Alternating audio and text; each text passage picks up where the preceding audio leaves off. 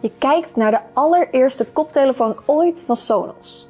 Dit is de Sonos Ace en ik ben een van de eerste die dit product in handen heeft. In deze video neem ik je mee langs alle belangrijke dingen die je moet weten van deze Sonos koptelefoon.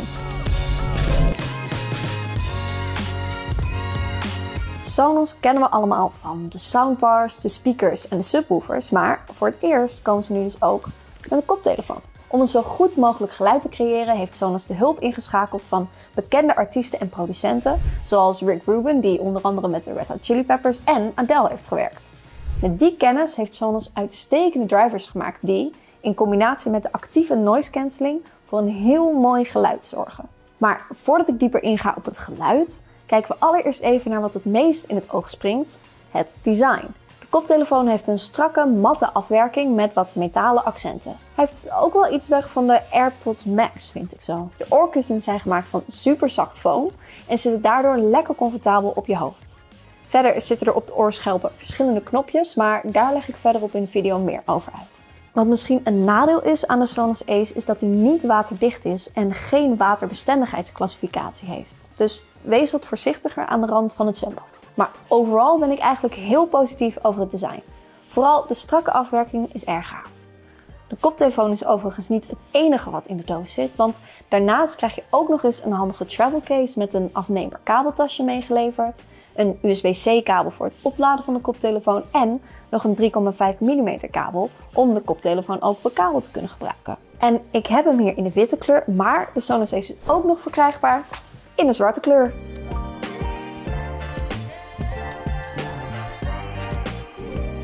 Het belangrijkste aan een koptelefoon en misschien ook wel hetgeen waar je het meest benieuwd naar bent, is het geluid.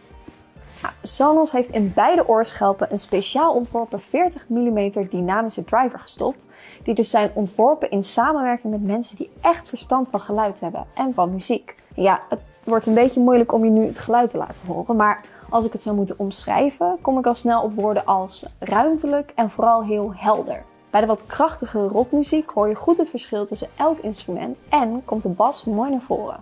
En bij de wat rustigere nummers, zoals wat nummers van Billie Eilish die ik net heb geluisterd, komt de stem heel goed naar voren en wordt het goed gescheiden van de rest van de muziek. Verder ondersteunt de koptelefoon lossless audio. Dit is heel erg vergelijkbaar met het wat bekendere high-res audio.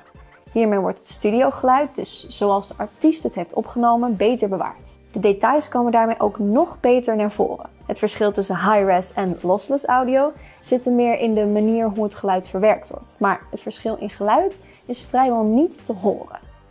Om van lossless audio te genieten, moet je ook een streamingdienst hebben die dit ondersteunt. Spotify ondersteunt het bijvoorbeeld niet, maar diensten zoals Apple Music, Tidal en Deezer dan weer wel.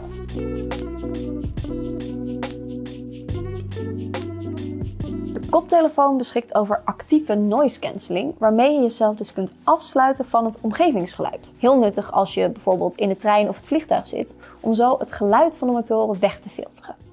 Daarnaast komen details in de muziek ook beter naar voren met noise cancelling. Om je af te sluiten van het omgevingsgeluid maakt de Sonos koptelefoon gebruik van acht microfoons die de omgevingsgeluiden opvangen, waarop de koptelefoon dan anti-geluidsgolven kan maken om zo het geluid dus weg te filteren. Maar goed, soms is het ook wel lekker en veilig om wel iets van je omgeving te horen en tegelijkertijd van je muziek te genieten.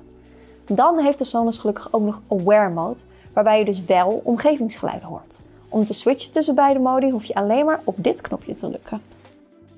De koptelefoon heeft ook draagdetectie, dus daarmee stopt de muziek met spelen zodra je koptelefoon afzet. En hij heeft Dolby Atmos geluid, mits je daarvoor dan wel aan een apparaat bent gekoppeld en content bekijkt wat ook Dolby Atmos ondersteunt.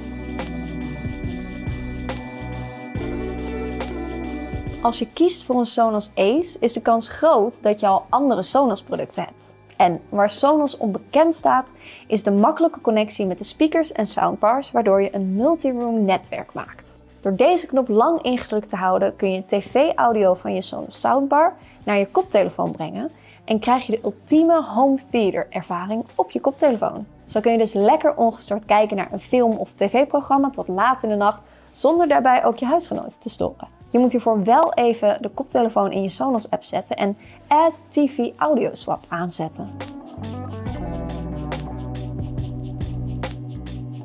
Zowel links als rechts zitten er knopjes op het apparaat, waarvan deze zogeheten content key het belangrijkste is. Met deze knop kun je namelijk zo'n beetje alles bedienen. Met één keer drukken op de knop zet je nummer op pauze of speel je hem weer verder. Maar aangezien je dus ook draagdetectie hebt, zul je dat niet heel veel gebruiken. Als je nummer wil skippen, dan kun je twee keer op deze knop drukken. En wil je juist het volgende nummer van de afspeellijst nog een keer afspelen, dan moet je drie keer op deze knop drukken. Je kan natuurlijk ook gebeld worden als je de koptelefoon op hebt. Nou, en stel je bent niet in de buurt van je telefoon of je hebt geen zin om hem uit je broekzak te halen, dan hoef je maar één keer op de knop te klikken om de oproep op te nemen. En deze knop kun je ook omhoog en omlaag doen. Hiermee kun je dan heel makkelijk het volume regelen. De knop onder de content key is dus de knop voor het switchen tussen noise cancelling en aware modus, zoals ik je net liet zien. Als je deze knop lang ingedrukt houdt, dan activeer je de spraakassistent. De linker oorschelp zit de aan- en uitknop. Deze moet je 3 seconden ingedrukt houden om hem aan of uit te zetten. Als je hem nog iets langer inhoudt, gaat hij verbinding maken met Bluetooth en kun je een apparaat aankoppelen. De koptelefoon heeft er een prima batterij in zitten. Met een accucapaciteit van 1060 mAh ondersteunt hij een luistertijd van maximaal 30 uur of een gesprekstijd van 24 uur met noise cancelling ingeschakeld. Opladen doe je met deze meegeleverde USB-C kabel. Er zit geen oplaadblokje bij, dus die moet je zelf nog even apart aanschaffen. Of je gebruikt er gewoon eentje van een andere oplader die je thuis hebt liggen. Het opladen gaat trouwens lekker snel. Je hoeft er maar drie minuten aan lader te leggen om alweer drie uur lang van muziek te kunnen genieten. Een volledige lading doet de koptelefoon in drie uur. En tot slot nog even kort de app van Sonos. Vanaf hier kun je verschillende dingen aanpassen, zoals de equalizer bijvoorbeeld. Hiermee bepaal je de hoge, lage en middentonen van de muziek. En verder kun je ook dynamische hoofdtracking aan en uitzetten. Deze techniek volgt de bewegingen van je hoofd om daar de audioervaring op aan te passen.